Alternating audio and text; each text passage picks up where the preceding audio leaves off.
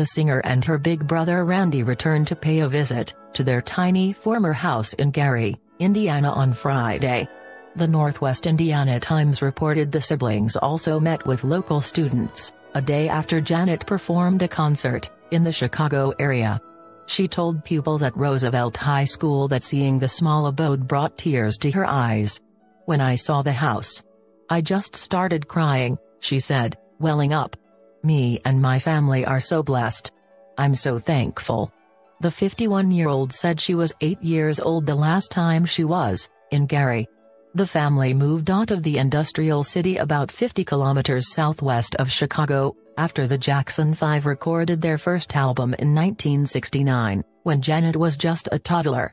She also told students she misses performing, with her siblings. We wanted to come here and visit Roosevelt, Randy added, naming the school, where their sisters Jackie and Rebbie attended. When we left, all we had was love and a dream. Janet, who became a mother for the first time, in February at the age of 51, spoke of the joy new son Eissa brought her. Every doctor told me it wasn't possible. But I've got a beautiful, healthy son. He'll be 10 months old, she said.